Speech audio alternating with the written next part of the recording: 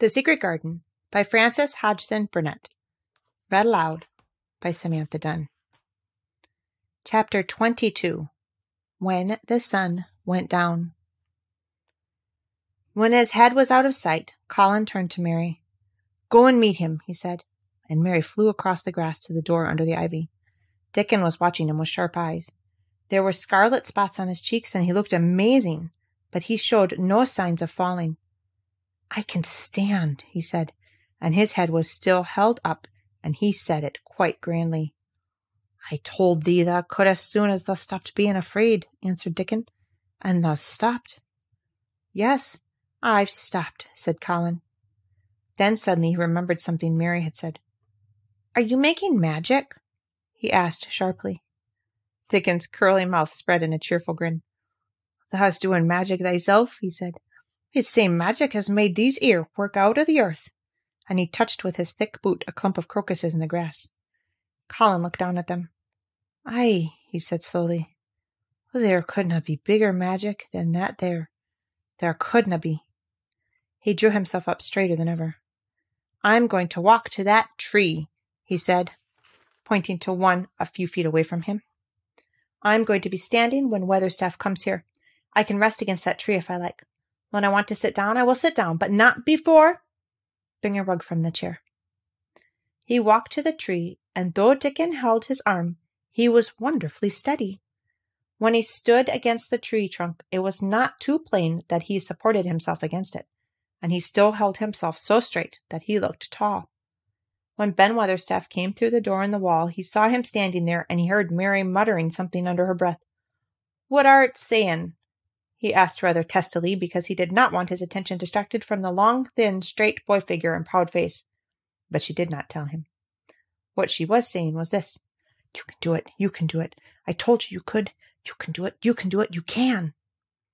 She was saying it to Colin because she wanted to make magic and keep him on his feet looking like that. She could not bear that he should give in before Ben Weatherstaff.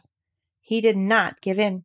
She was uplifted by a sudden feeling that he looked quite beautiful in spite of his thinness he fixed his eyes on Ben Weatherstaff in a funny, imperious way. Look at me, he commanded. Look at me all over. Am I a hunchback? Have I got crooked legs? Ben Weatherstaff had not quite got over his emotion, but he had recovered a little and answered almost in his usual way. Not that, he said. Now to the cert. What's thou been doing with thyself? Hiding out of sight and letting folks think thou was a cripple and half-witted. Half witted, said Colin angrily. Who thought that? Lots of fools, said Ben. The world's full of jackasses braying that they'd never bray about but lies. What did thou shut thyself up for? Everyone thought I was going to die, said Colin shortly. I'm not. And he said it with such decision, Ben Weatherstaff looked him over, up and down, down and up. Thou die, he said with dry exultation. Now to the start. Thou's got too much pluck in thee.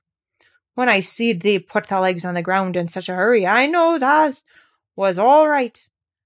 Sit thee down on the rug a bit, young master, and give me thy orders. There was a queer mixture of crabbed tenderness and shrewd understanding in this manner. Mary had poured out speech as rapidly as she could as they had come down the long walk. The chief thing to be remembered, she had told him, was that Colin was getting well, getting well, the garden was doing it. No one must let him remember about having lumps and dying. The Rajah cond- condescended to seat himself on a rug under the tree. What work do you do in the gardens, Weatherstaff? he inquired. Oh, anything I'm told to do, answered old Ben. I am kept on by favour, because she liked me. She? said Colin. With a mother, answered Ben Weatherstaff. My mother? said Colin, and he looked about him quietly.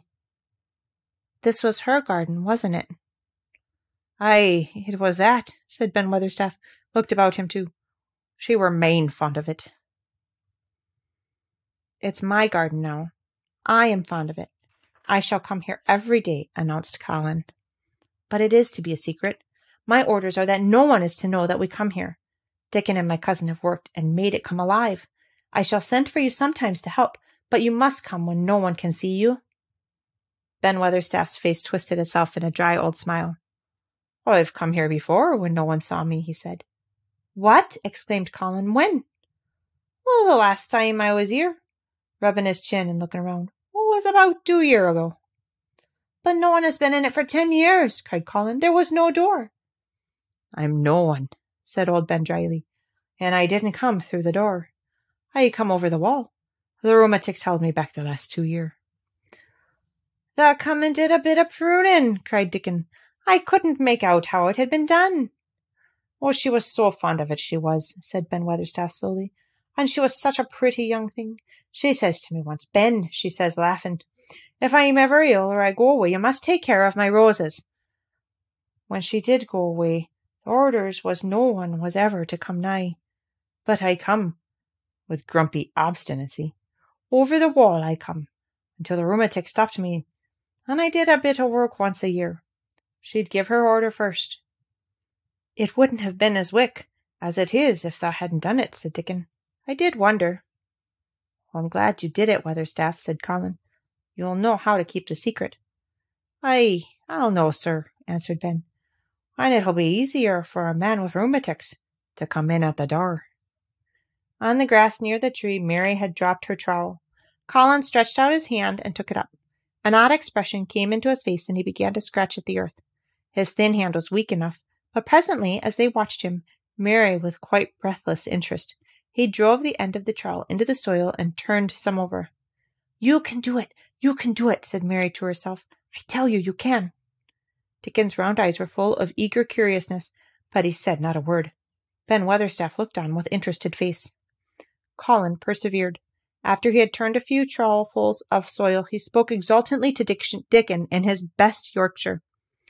Tha said tha'd have me walking about here, same as other folk, and tha said tha'd have me digging. I thought tha was just leeing to please me. This is the only, this is only the first day, and I've walked, and here I am digging. Ben Weatherstaff's mouth fell open again when he heard him, but he ended by chuckling. Eh, he said, that sounds as if thou's got wits enough. Thou'rt a Yorkshire lad for sure. And thou'rt digging too? How'd thou like to plant a bit of something? I can get the arrows in a pot. Go and get it, said Colin, digging excitedly. Quick, quick! It was done quickly enough indeed. Ben Weatherstaff went his way forgetting rheumatics. Dickon took his spade and dug the hole deeper and wider than a new digger with thin white hands could make it. Mary slipped out to run and bring back a watering can. When Dickon had deepened the hole, Colin went on turning the soft earth over and over. He looked up at the sky, flushed and glowing with this strangely new exercise, slight as it was. I want to do it before the sun goes quite, quite down, he said. Mary thought that perhaps the sun held back a few minutes just on purpose. Then Weatherstaff brought the rose in a pot from the greenhouse. He hobbled over the grass as fast as he could. He had begun to be excited too. He knelt down by the hole and broke the pot from the mold. Here, lad, he said, handing the plant to Colin. Set it in the earth thyself, same as thy king does when he goes to a new place. The thin white hands shook a little, and Colin's flush grew deeper as he set the rose in the mold and held it while old Ben made firm the earth. It was filled in and pressed down and made steady. Mary was leaning forward on her hands and knees. Soot had flown down and marched forward to see what was being done. Nut and Shell chattered about it from a cherry tree. It's planted, said Colin at last, and the sun is only slipping over the edge. Help me up, Dickon. I want to be standing when it goes. That's part of the magic. And Dickon helped him, and the magic, or whatever it was, so gave him strength that when the sun did slip over the edge and end this strange, lovely afternoon for them, there he actually stood on his two feet, laughing.